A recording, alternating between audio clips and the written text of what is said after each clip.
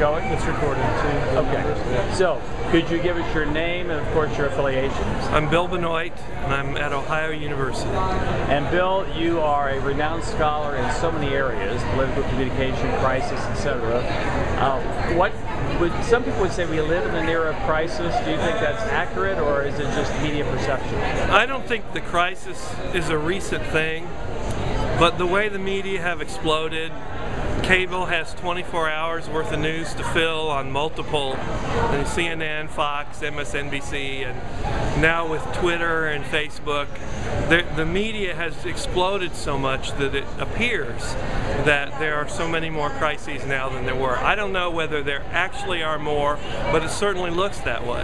And also here in New Orleans at NCA, it's of course meeting old colleagues and meeting new colleagues. Peter's going to be getting into a PhD program, hopefully. Might want to talk to Ohio U. He's an Ohio Good luck. fan. Uh, wanting to know what what panels uh, are you going to be on, and what could you just give us a synopsis of some of the research you've been doing?